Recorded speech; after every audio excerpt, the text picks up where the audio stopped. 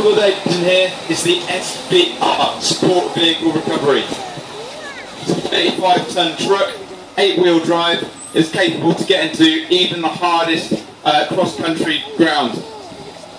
Any vehicle which we get bogged in, this vehicle will get to it and recover it.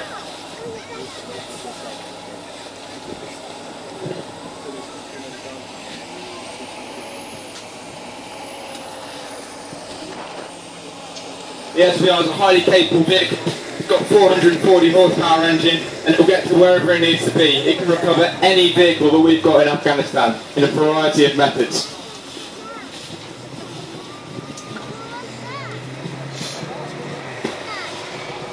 Whilst the recovery mechanics are carrying out their job, their protection is vital. To enable them to focus on what they've got to do, we've got force protection assets that will push out and ensure we're protected.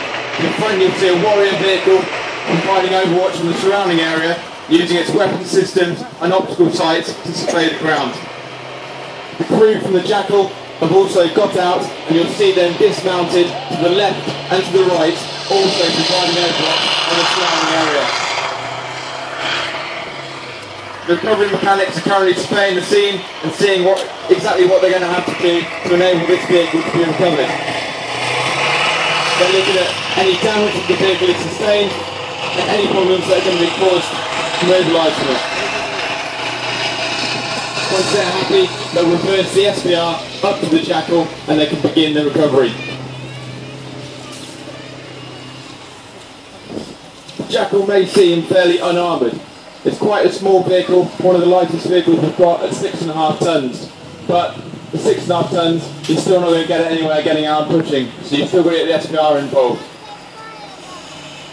Whilst it doesn't have as much armour as some of our larger vehicles, it's um, highly manoeuvrable and it has a lot of firepower. So its protection comes from the fact that it can get out of the way of any sticky situation.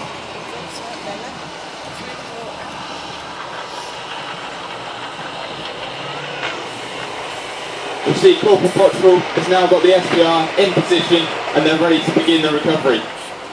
They can lift these vehicles in a variety of ways. Every vehicle in service has got lifting